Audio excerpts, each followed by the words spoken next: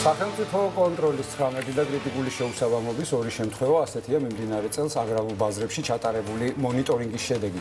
რამდენად უსაფრთხოა ბაზრებში შეძენილი პროდუქტები და რა ტიპის დარღვევები ფიქსირდება, რა უნდა გაითვალისწინოს მომხმარებელმა პროდუქტის ბაზარში შეძენისას, თემაზე საუბარს ჩვენ სტუმართან ერთად. განვაგრძობ ჩვენი სტუმარია ბატონი ვასილ ბასილაძე, სულსათის ეროვნული სააგენტოს თბილისის საქალაქო სამსახურის უფროსი დილამშვიდობის ბატონო ვასილ. დიდი მადლობა მოგზაურობისთვის და შეკითხვით დავიწყებ პირდაპირ კონკრეტულად რომელ პროდუქტებს ბაზრებზე კეთდება განსაკუთრებული აქცენტი ბაზრების შემოწმებისას და როგორია შედეგი დღევანდელი დღესდღეობით. მოგესალმებით კიდევ ერთხელ, დიდი მადლობა მოწვევისთვის. სურსათის ეროვნული სააგენტო მუდმივად ახორციელებს სახელმწიფო კონტროლს სხვადასხვა მიმართულების ბიზნეს ოპერატორებთან. რა თქმა უნდა, განსაკუთრებული ყურადღება ექცევა აგრარულ ბაზრებს, და აგრარულ ბაზრებში ყურადღებას ვაქცევთ მაღალი რისკის სურსათს, როგორც არის ხორცი, ხორცის პროდუქტები, რძე და რძის პროდუქტები.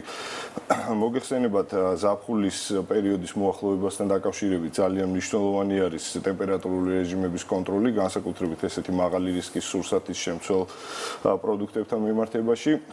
თბილისის მასშტაბით დღეის მონაცემებით შემოწმებული გვაქვს უფრო სწორად განხორციელებული გვაქვს 19 სახელმწიფო კონტროლის ღონისძიება თბილისის აგრარულ ბაზრებში. აქიდან მხოლოდ ორ შემთხვევაში გამოვლინდა კრიტიკული შეუსაბამობა. დანარჩენ შემთხვევაში ბიზნეს ოპერატორებს განემარტათ და მიეცათ რეკომენდაციები.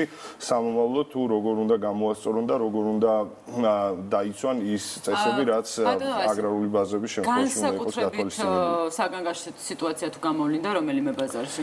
აა განსაკუთრებით საგანგაშო სიტუაცია მე ვიტყოდი რომ მხოლოდ ერთ ბაზარში იყო კრიტიკული შეუსაბამობა, ისიც დღეის მდგომარეობით გამოსწორებულია.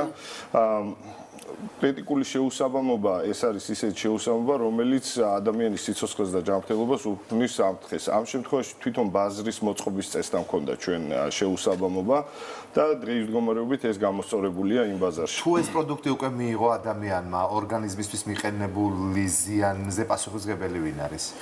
ეს ცოტა ისეთი შეკითხვა არის ამ შემთხვევაში რა თქმა უნდა სრული პასუხისგებლობა ბიზნეს ოპერატორს ეკისრება იმიტომ რომ ის არის ბაზარზე ის განათავსებს ბაზარზე ამ კონკრეტულ სურსათს. აა ბატონო ეს როდესაც საუბრობთ ინფრასტრუქტურულ მოწყობაზე ბაზრის და კრიტიკულ შეუსაბამობაზე თუ შეგიძლიათ დაგვისახოთ რომ ამ ბაზარში იყო მსგავსი შეუსაბამობა აღმოჩენილი?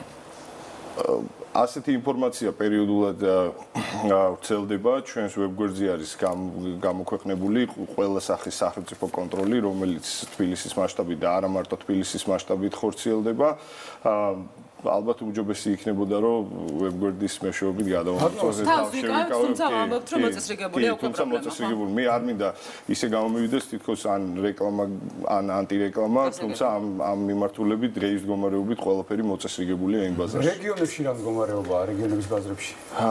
ანალოგიური სიტუაციაა რეგიონების მიმართულებითაც. მე თავშევიკავებდი კონკრეტული ფაქტების მოყვანით იმიტომ რომ მე მხოლოდ თბილისის საქალაქო სამსახურს წარმოვადგენ თუმცა სტატისტიკა იგი იგივე არის როგორც თბილისში. სააგენტო მუდმივად ახორციელებს კონტროლს. კონტროლი ხორციელდება როგორც გეგმიური, ასევე არაგეგმიური მიმართულებით და ბიზნეს ოპერატორებს ეძლევათ რეკომენდაციები იმ შეუსაბამობების, არაკრიტიკული შეუსაბამობების გამოსასწორებლად და აღმოსახველად. ერთი რაღაც მინდა გკითხოთ ყველაზე მთავარი ალბათ მომხმარებლისთვის, როდესაც ჩვენ ბაზარში შევდივართ, კიდია ხორცი. თქვენ ერთ-ერთი პროდუქტი რომელიც დაასახელეთ იყო ხორცი ამ პირობებს მატულობს ტემპერატურა მით უმეტეს რა პირობებში უნდა ინახებოდეს და როგორ უნდა იყიდებოდეს ანუ ის რომ ღია სივრცეში კიდია ეს ხორცი არ უნდა ვიყიდოთ ძალიან საინტერესო შეკითხვა არის და მეტად მნიშვნელოვანი ამავდროულად. მოგეხსენებათ კიდევ ერთხელ ვიტყვი რომ ხორცი არის მაღალი რისკის სურსათი, მალფუჭებადი სურსათი არის.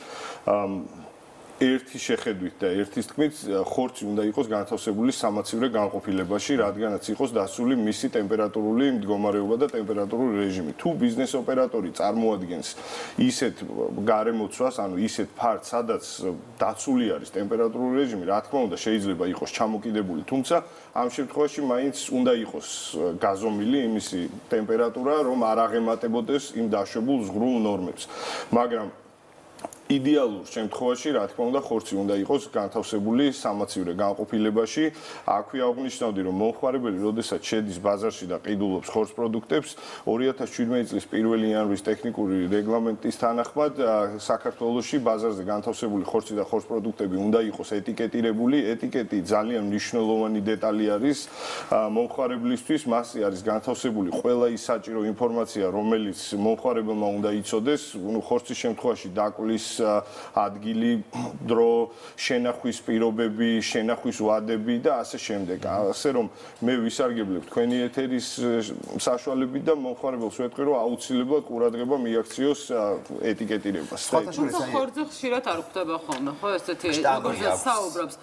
გოდერძი ქუჩაში გაკიდელ ხორცზე. ამ შემთხვევაში ეტიკეტზე ეტიკეტი არ არის ხოლმე. რა შეეხება ქუჩაში დაკიდებულ ხორცს, ეს საუბრობთ თქვენ საუბრობთ არაორგანიზებულ, არალეგალურ სავაჭრო ადგილებზე, სადაც სამწუხაროდ სურსათი ეროვნული სააგენტო ვერ ახორციელებს თავის კონტროლს, იმიტომ რომ ეს უკვე კანონგარეშე ქმედება არის, ხორცი და არანაირი სურსათი არ უნდა იყიდებოდეს არაორგანიზებულ ადგილას. შესაბამისად სანქციებიც ვერ წესდება ასეთ. სანქციების წესდება, რა თქმა უნდა, მხოლოდ ეს არის ზედამხედველობის მიმართულებით. ბატონო, როგორია სახელმწიფო კონტროლის მექანიზმი და აი ბაზრის შემოწმება რა ეტაპებს მოიცავს? სახელმწიფო კონტროლი ხორციელდება როგორც გეგმიურად, ასევე არაგეგმიურად. გეგმიურად წელიწადში ორჯერ ვახორციელებთ სახელმწიფო კონტროლს აგრარულ ბაზრებში, ხდება შემოწმება როგორც ინფრასტრუქტურის, ასევე იქ განთავსებული სურსათის იმ კონკრეტულ მომენტში იქ განთავსებული სურსათის კეთილსაიმედობაზე, მიკვლევადობაზე, წარმომავლობაზე, შენახვის პირობებზე და ასე შემდეგ. არაგეგმიურის შემთხვევაში ეს შეიძლება განხორციელდეს მაგალითად მოქალაქის ან მომხმარებლის შეტყობინების საფუძველზე. ჩვენი ცხელი ხაზი სულ ჩართული არის 1501 არის ნომერი. შევახსენებ მაყურებელს და მომხმარებელს.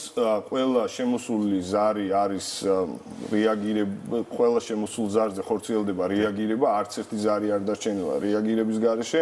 თუ მაგალითად მომხმარებელი რაიმე დარღვევას აღმოაჩენს ან შენიშნავს, აუცილებლად თხოვ რომ დარეკოს 15.0-ზე და ჩვენი მხრიდან იქნება უყურადღებოდ არის ეტიკეტები ახსენეთ თქვენ და არის კიდევ ერთი პროდუქტი რომელშიც თითქოს წესები დაცულია და დევს ეტიკეტიან პარკებში. ეს არის სუნელებზე ვსაუბრობ როდესაც საერთო დიდი მოცულობის პარკში რომელსაც ეტიკეტი აქვს გიხსნიან და გაძლევენ რამდენიც გნება. თორსად მომხარებელს უნდა.